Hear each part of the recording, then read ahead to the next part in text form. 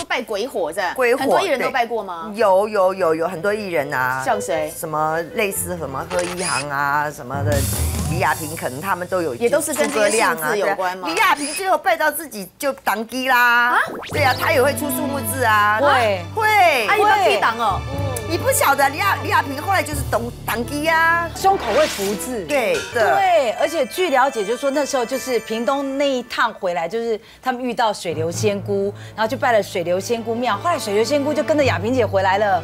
然后呢，那时候因为罗姐常吃秀场女王嘛，她很清楚。那时候据了解是，他们只要一唱完，嗯，一堆人就轰，就就是到后台去就看，哎，亚萍姐有没有有没有有没有有没有福把字衣服打开对，然后就在胸口，因为我们作秀的时候，大部分穿这种都是很自己已经很保守了。做做秀的时候是前面开到肚脐眼，这边开 开叉开到腰的这种这样子，所以都露得很大。然后哎，看一下看一下，他就开始扑这对，只。只能一起来做示范比。如说胸口长了一片红疹，上面会出现数字，对，其实倩玲问的很好，因为观众朋友说什么意思叫福字？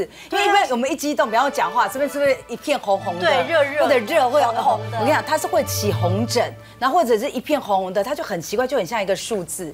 所以那时候其实老实讲就要看福气了，就是说有一次对自己猜就要看个人福气。听说有一次大家围上去哦，然后呢，比方说啊，我可能看的就是三零，可是呢，诸葛亮朱大哥他看的可能就是一零或零一，你知道吗？那一那一次据了解，被诸葛亮朱大哥中了破亿，哇那是对。可是我要讲，可是你知道吗？哎，每天被大家追着跑，被艺人追着跑，亚萍姐快疯了吧？真的。后来真的还真的请了一个专业的大师帮他把 take 啊 take 啊 take 啊对，不能够动不动他就起机这样，因为像我现在如果看罗姐，我只看得到一这样子，这个数字有一吗？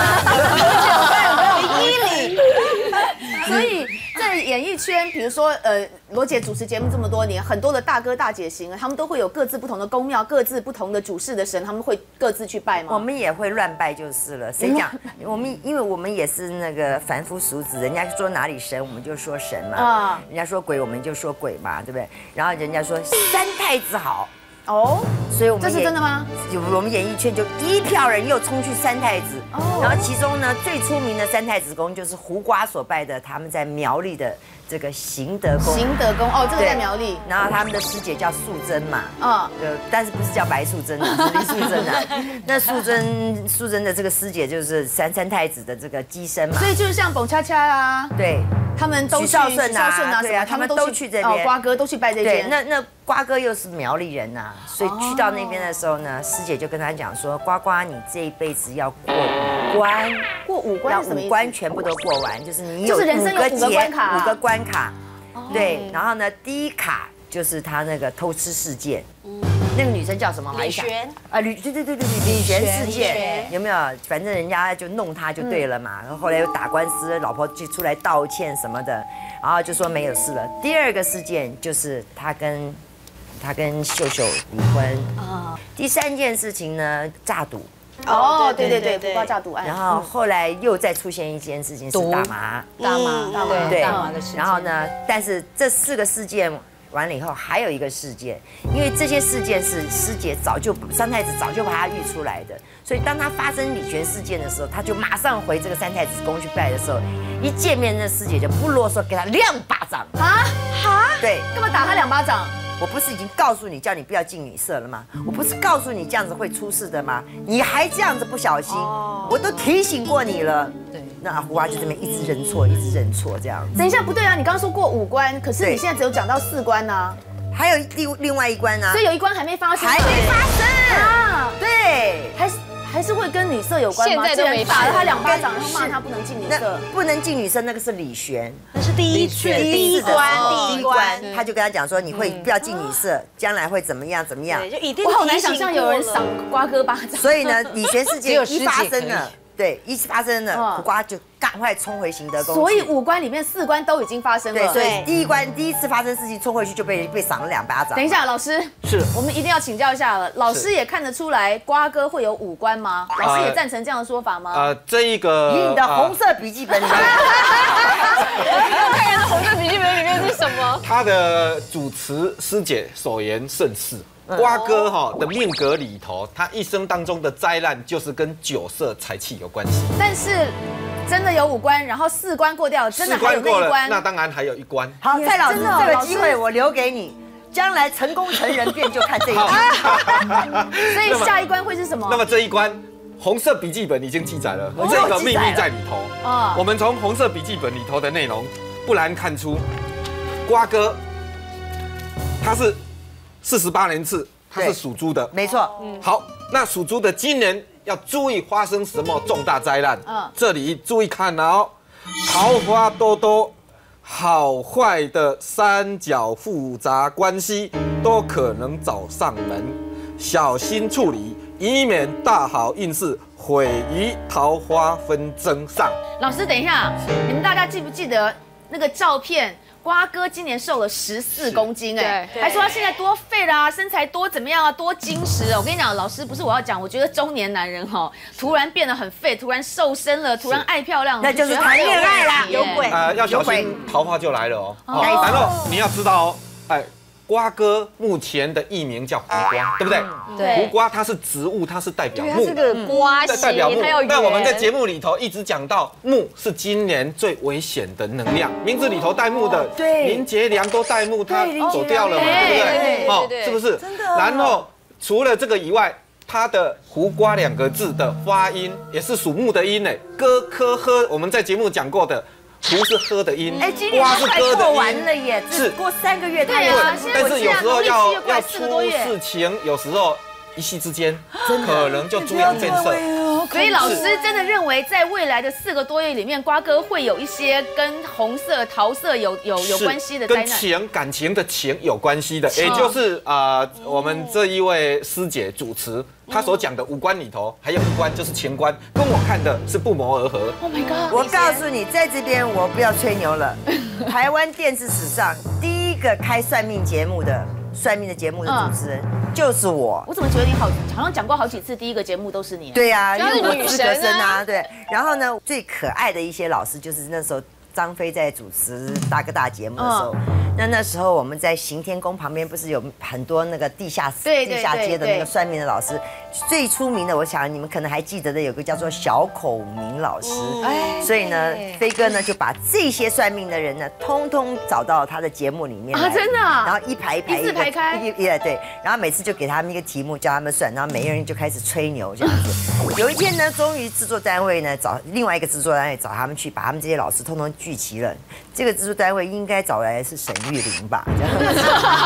然后那时候又是鬼月，嗯嗯，鬼月的时候呢，就说要看说啊，因为摄影棚里面是最，因为我们的摄影温呃常常温啊对，很冷，大概十三度、十四度左右，要不然机器会坏掉。然后太阳又照不进来。太阳又照不进来，所以摄影棚是最阴森的地方，鬼最多的时候，嗯就叫他们鬼月的时候，在摄影棚里面，在而且就在台式的那个摄影棚里面看到鬼的那个摄影棚里面，嗯叫他看有没有鬼，然后我就看老师坐一排在那边，一分钟、两分钟过去了，三分钟，有一个人这样，我看到了，然后他就说我看到了，然后其他人说。我们没看到，他怎么看到了？是这种表情。然 后你看到了，然后咱们，然后，然后，然后就主持人就问在哪里，在在在那里，在那里，在那里。然后我就我就在看其他的表老老师的表现，然后大家也在偷看偷看，看一下这五四三二一，另外一个。我我也看到了，你看到这个，这在哪里？这里。好了，五个已经已经有两个看到，其他三个好急啊，完了两个看到了，我们还没看到，你怎么办？然后我就看他，因为 我看不见。因为只有我在认真看每一个老师的表情嘛，就看另外一个，我也看到了，啊，你也看到在哪里？每个人都说不同的方向，搞得我们大家找鬼找的，对不对然后剩下两个，两个这边很齐，他们都看到了，那他们都看到这个方向，我应该在哪里？我是应该跟他看到一样的，还是我看他们正在正在犹豫的时候，好，这个人在犹豫，第四个我也看到了，全部看到了。最后一个在那边跺脚，好丢对，脸。最后一个心想有。说只有我没有怎么办？最后来不及了，这个看到了，刚讲了不到三十秒，这个我也看到了，我说全都看到了啊！我才不相信摄影棚里面这么容易看到鬼了，见鬼了嘞！没有没有，老师，我们摄影棚很干净，对不对？好，可是呢所以在节目上面一字排开的每一位老师搞了半天都搞不清楚他们说的是真的是假的，对不对？你也不知道他到底看到什么。真的每一位老师都那么厉害吗？就算是再有名的、再赫赫有名、如雷贯耳的老师，是不是有的时候反而会？害人。那我现在讲这个大师，因为我们真的说哦，其实有时候，呃，台面下 on the table 的大师，他为什么会到大家都知道？除了口碑相传以外，再来就是透过媒体嘛，我们常讲的造神运动。好，一度呢，其实呢。有呢，呃，有几个电视台非常在呃前一阵子，应该说这一两年非常非常的呃这个捧一个大师。这一两年，刚才罗姐有讲到，近最近近年来，对对没有没有没有没有大师以后自己都出了大事了。那是你讲的哦。对，OK，哎，不是，他真的算过我呀。啊，真的好，罗姐乖，好好。他呢玩一个桥段，就是他不知道你是谁，嗯嗯，但是呢，他呢可能透过呢摸你的手，或者是说呢看你的脚，他就告诉你说，哎呀，你的一生，你的夫妻缘。呃，注定命薄，然后你的小孩子不孝，然后你怎么样？然后呢，那个在就是我现在如果在这个后面，你就这样看我一一双脚拿出来看，你就可以知道倩玲对了，还有一你的手，你的手，就这样子你就可以看了 Yes yes，就是这样，就这样。然后呢，你就在这么厉害那就听到你在后面这样。就啜泣，你知道吗？然后你知道，你知道那个多有画面，倩你都问一下多有画面，然后你就在后面，然后他就非常震惊说：“哎，我告诉你，我这辈子还有没有夫那个夫缘哦？”很难，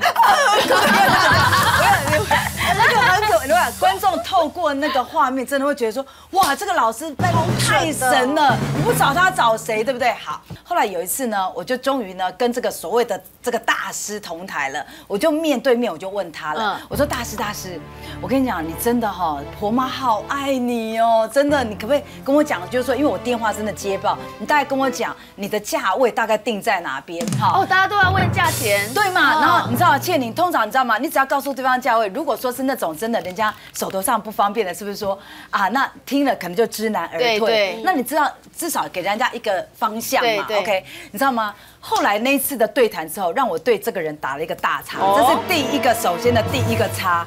那你会说什么？他到底回答了什么？他他怎么了他告诉我说，他说，嗯，文婉，我觉得你不用理他们呢。那我当下我就吓一跳，他说，因为呢，我都帮高官显贵看命、看阳宅跟阴宅。哟我意思就是我不帮一般的平民，就是我们这种平民他不看，你懂吗？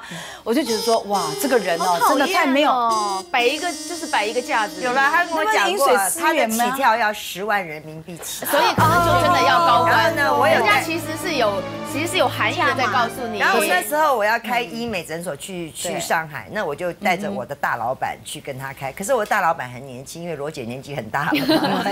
然后他整个把我大老板当成小弟。我说，如果你是一个很厉害的人，你怎么会连一个大老板的他不是看一个样子就什么都知道了吗？对，他完全把他当我小弟，然后就跟我讲说，在因为他在南港那边，他说你要去隔壁看这栋美容诊所，这个都是我帮他开的，你知道吗？人家送的是爱马仕包包，他我帮他开，他这个生他这个一定好，一定好。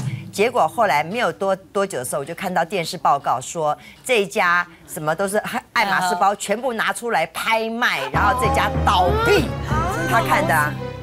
所以你看，所以比如说很多可以验证。对呀、那好，就你的验证，就你所了解，他看到的脚，他看到的手，这里面当中到底准的多还是不准的多？没有，他前面都看过，他知道谁在后面的。没有，我跟你讲，所以我是觉得说，哦，观众为什么我为什么一直强调造神？因为透过 monitor，比方说我们在制作节目，很多在旁边，我们这边怎么走动，怎么 setting 现场，大家是看不见的，大家只看到后面那个女艺人在那哭的梨花的，呃我的老公呢，我的服务员，然后只觉得哇，这个大师好准哦，根本不知道后面是周倩玲，他怎么知道他的一生这么坎坷啊？